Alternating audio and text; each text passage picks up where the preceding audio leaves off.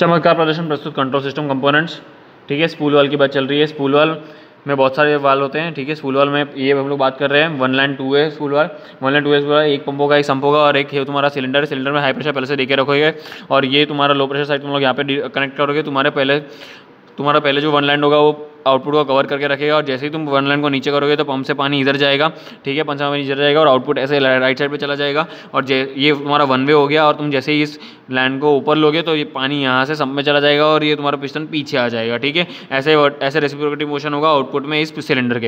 ये तुम्हारा हो गया वन लैंड टू है अब हम आते हैं टू लैंड टू वे पे। टू लैंड टू वे में टू लैंड है और टू लैंड पहले पंप और सबको कवर करते हैं और हाई प्रेशर पहले से तुम्हें इस साइड देख ही रखना है और लेफ़्ट साइड से कनेक्टेड है, ठीक है? टू वे मतलब एक ही साइड कनेक्टेड हो, इतना याद रखना, एक ही पाइप कनेक्टेड होगा। तो वैसे यहाँ पे यहाँ पे टू टू वे वैसे ही होगा। जैसे ही मैं इसको ऊपर लूँगा तो पंप से पानी इस साइड पर चला जाएगा और ये राइट साइड पर चला जाएगा, ठीक है? और जैसे मैं इसको नीचे लूँगा तो पानी यहाँ से सब में चला जाएगा और ये लेफ़्ट साइड पर आ जाएगा, ठीक है? तो ये two land two way spool valve हो जाता है। फिर हम लोग आते हैं two land four way spool valve पे। Two land four way spool valve हम लोग आउटपुट को कवर करेंगे और इन साइड यहाँ पे एक पंप होगा और दो संप हो गया और आउटपुट दो होंगे वो उसको कवर करेंगे। कोई किसी को भी हाई प्रेशर नहीं दे रही, दोनों आउटपुट यहाँ पे कनेक्टेड है। तो हम लोग, पहले हम लोग जब इसको ऊपर लेंगे तो पंप राइट साइड पे चला जाएगा और सम्प लेफ़्ट साइड पे आ जाएगा। पंप राइट साइड पे चला जाएगा और सम्प लेफ़्ट साइड पे आ जाएगा। तो पिस्टन लेफ़्ट साइड पे चला जाएगा, अंदर चला जाएगा, ठीक है? सिलेंडर सिलेंडर पिस्टन अंदर चला जाएगा। और जैसे ही मैं अगर लैंड को नीचे करता हूँ तो फिर पंप लेफ़्ट साइड से आ जाएगा और राइट साइड से सम्प पे चला जाएगा, ठीक है? तो राइट साइड पर चला जाएगा। ये इसे कहते हैं फोर वे क्योंकि दोनों दोनों पाइप से कम्युनिकेशन हो रहा है दो अलग अलग तरीकों से, ठीक है? फोर वे और हम लोग आते हैं फोर लैंड फोर में। Four land four way two land four way में ज़्यादा डिफरेंस नहीं है। क्योंकि टू लैंड फोर की जो कवर कैप्स थी, उसके जगह पे हम लोगों ने यहाँ पे लैंड लगा दी है, ठीक है? लैंड लगा दी है। और ऐसे ही सिमिलर ही होगा क्योंकि अगर नीचे करो, तुम लोग अगर इस लैंड्स को ऊपर करोगे तो फिर पंप से पानी राइट साइड पे चला जाएगा और सम ये यहाँ यहाँ का फ्लोइड सम्प में आ जाएगा तो ये लेफ़्ट साइड पे आ जाएगा। जैसे ही तुम ऊपर करोगे, और जैसे ही तुम नीचे करोगे तो फिर पंप से पानी इधर से जाएगा और सम से पानी इधर से चला जाएगा, ठीक है? तो नीचे करने पे राइट और ऊपर करने पे लेफ़्ट आएगा। तो similar to two land four way है ये, ठीक है? हम लोग पीछे भी देख, और पीछे हम लोग देखेंगे कि three line three line block कैसे करता है थ्री लाइन फोर वे कैसे काम करता है। थ्री लाइन फोर में एक पंप और दो सम तो होते ही हैं तो उन तीनों को ब्लॉक किया जाता है और दोनों साइड से हमें पिस्टन में दिया जाता है, ठीक है? जैसे ही हम लोग ऊपर लेंगे तो पंप से लेफ़्ट साइड में आ जाएगा और सम से ऊपर से राइट से सम में चला जाएगा तो ठीक है? ऐसे ऐसे मूव ऐसे मूव करेगा। फिर हम लोग अगर उसको नीचे ले लेते हैं तो फिर पंप राइट साइड से आ जाएगा और सम्प लेफ़्ट साइड से चला जाएगा। तो पंप यहाँ से आया तो इस साइड चला जाएगा, ठीक है? ये तुमने समझा थ्री लाइन फोर वे। अब हम लोग आते हैं तुम्हारे हाइड्रोलिक पंप हाइड्रोलिक पंप से axial piston pump axial piston pump में हम लोग देखेंगे कि ये स्क्वैश प्लेट लगी हुई होगी और ये सिलेंडर्स होंगे। सिलेंडर ऐसे इसको टच हो गए। ठीक है तो सिलेंडर में यहाँ पे इनलेट है, यहाँ से पूरा लिक्विड आएगा और लिक्विड आते फिर घूम रहा होगा। तो घूम के जैसे ही नीचे नीचे की साइड आएगा, नीचे की साइड घूमने के आने के बाद यहाँ पे तुम्हारा पिस्टन जो खुला हुआ था वो ऐसे ऐसे आते आते आते आते देखो, आते आते मेरी पेन पीछे जा रही है। ऐसे पहले आगे थी और मेरी पेन अभी पीछे जा रही है। तो वैसे पिस्टन यहाँ पे दब जाएगा दब के यहाँ पे आउटलेट में ज़्यादा प्रेशर से वो आउटलेट देगा। ठीक है? तो यहाँ पे इनलेट में प्रेशर जितना था उससे ज़्यादा प्रेशर आउटलेट में आता है। इसका भी हम लोग एक बार वीडियो देखेंगे। तो ये तुम लोग देख रहे हो, ये तुम्हारी स्क्वैश प्लेट है जो आड़ी लगी हुई है और ये तुम्हारे पिस्टन है। ठीक है? और ये तुम्हारा जॉइंट है। तो यहाँ पे तुम लोग प्ले करके देखोगे तो वो तुम्हें दिखाएगा कि वो मूव कर रहा है। तो ये पिस्टन जो है, वो मूव हो रहे हैं। ठीक है, और ये स्क्वैश प्रेशर स्क्वैश प्लेट निकाल के दिखा रहा है। स्क्वैश प्लेट प्रेशर वेरी करने के लिए होती है। ऐसे एंगल जितना एंगल तुम ज़्यादा रखोगे, उतना प्रेशर वेरी होगा। अगर तुम सीधा रखोगे स्क्वैश प्लेट को तो प्रेशर वेरी बिल्कुल नहीं होगा। जो इनपुट का प्रेशर होगा, वही आउटपुट का प्रेशर होगा। अगर तुम स्क्वैश प्लेट सीधी रखोगे तो प्रेशर कोई वेरी नहीं होगा। इनपुट का प्रेशर ही आउटपुट का प्रेशर होगा। अगर स्क्वैश प्लेट स्क्वैश प्लेट का एंगल जितना ज़्यादा रखोगे, उतना इनपुट का प्रेशर से आउटपुट का प्रेशर ज़्यादा होगा। स्क्वैश प्लेट उसने डायरेक्टली लगा दी है ऐसे। ये ड्राइव शाफ्ट है और ये तुम्हारी स्क्वैश प्लेट है और ये तुम्हारे सिलेंडर्स है, जो घूमते घूमते ऊपर बाहर आ रहे हैं और नीचे जाके अंदर जा रहे हैं। ठीक है?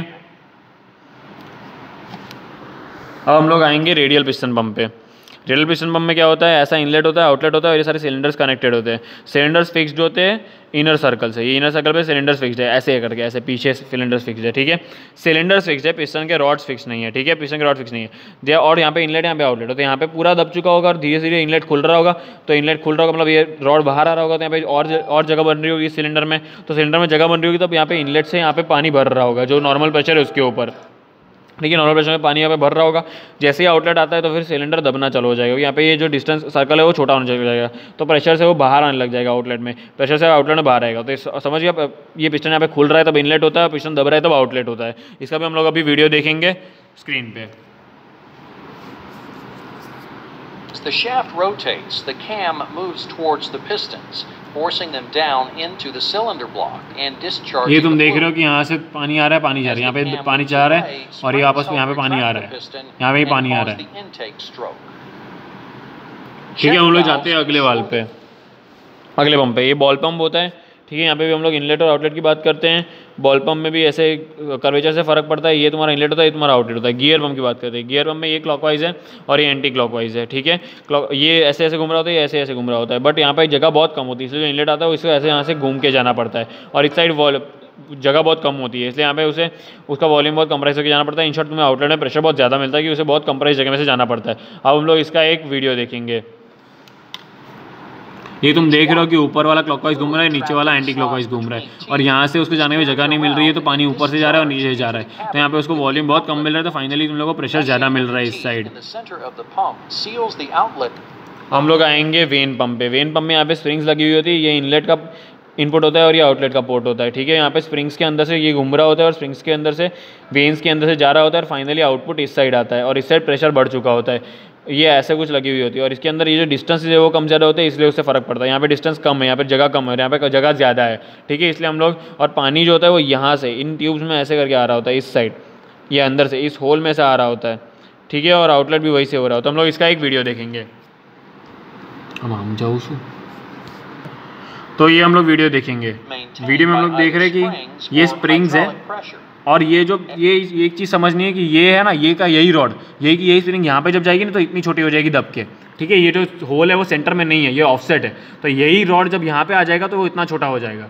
ठीक है? तो यहाँ पे जो वॉल्यूम ज़्यादा था, वो यहाँ पे आके वॉल्यूम कम हो जाएगा। मतलब इतना ही समझो कि पानी मैंने इसी क्वाड्रेंट में भरा, मान लो बाकी क्वाड्रेंट में नहीं भरा, इस सेक्टर में भरा। तो ये सेक्टर यहाँ पे आते आते इतना छोटा हो जाता है कि यहाँ पे प्रेशर बढ़ जाता है, कि वॉल्यूम कम हो चुका होता है। और आउटपुट यहाँ से लिया इनलेट यहाँ से लिया समझ रहे हो? तो ऐसे अलग अलग सेक्टर्स लगाए, बहुत सारे सेक्टर्स लगाए यहाँ पे आते ही हर एक सेक्टर का वॉल्यूम बढ़ जाएगा और यहाँ पे जाते आते उसी सेक्टर का वॉल्यूम बहुत कम हो जाएगा और यहाँ पे उसका प्रेशर बढ़ के वो बाहर आउटपुट में आ जाएगा। तो वही हम लोग देखेंगे। तो यहाँ पे पानी भर रहा है ठीक है? और यहाँ पे देख रहे हो ये इसका छोटा सेक्टर कितना बड़ा होता जा रहा है। ये सेक्टर होते होते होते होते बहुत बड़ा हो गया। बट यही बड़ा सेक्टर छोटे होते होते होते यहाँ पे बहुत छोटा हो जाएगा। तो यहाँ पे उनका प्रेशर ज़्यादा होता है रेड में प्रेशर बढ़ जा रहा है। ठीक है? वॉल्यूम कम हो गया प्रेशर बढ़ रहा है। Thank you enjoy enjoy